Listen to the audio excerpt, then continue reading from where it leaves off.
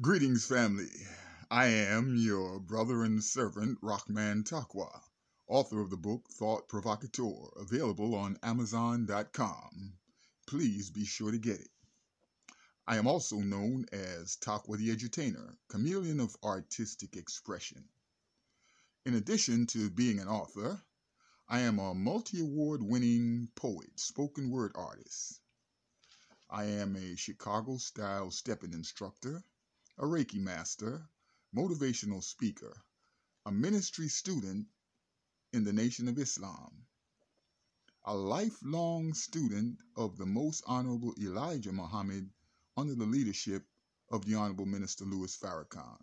I am thankful to the Most High for all my gifts. My gifts are my service to humanity. My service is my ministry. My ministry is my genius, and genius is common.